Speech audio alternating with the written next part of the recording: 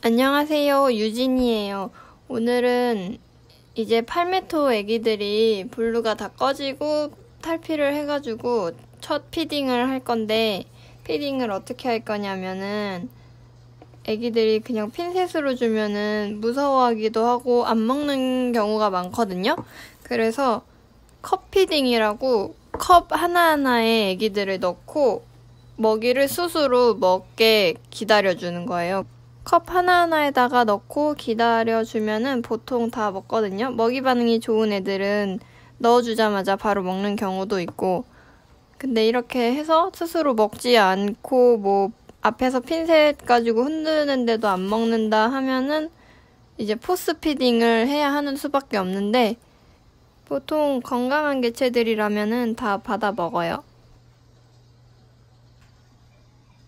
애기들 몸에 이제 점도 많이 올라오고 되게 나름 팔메토 같은 모습이 된 것 같아요, 지금. 처음에 태어났을 때는 그냥 점도 안 보이고 부동부동해가지고 지렁이 같았는데 빨간 점도 이제 좀 올라왔고 검은 점도 보이고 처음이랑은 되게 달라진 모습이에요.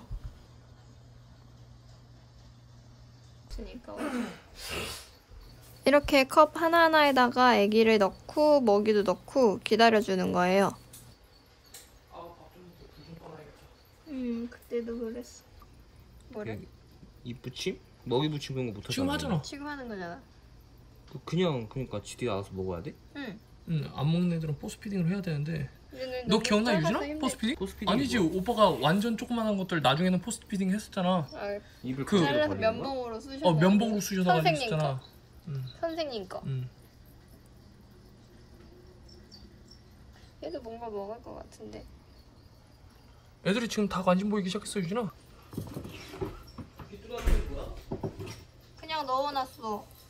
오빠가. 먹나 보려고? 응. 오빠 이 버그 아이가 되게 건강한 것 같아. 응. 그치? 뭐 눈알 튀어나올 것 같아.